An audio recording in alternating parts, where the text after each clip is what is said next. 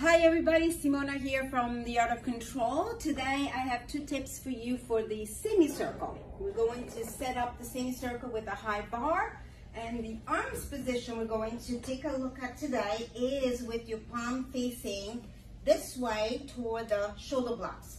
This is going to give you a little more deeper stretch in your upper body as you can see and into the arms, the forearm and your fingers and the wrist to prepare you a little more for the uh, bridge, like things like the bridge.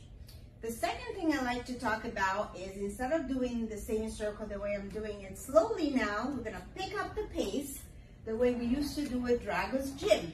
Two positions, down, forward, and then in, out, down, into the heel, and then forward into the thigh. So two stretches, heels, and then thighs.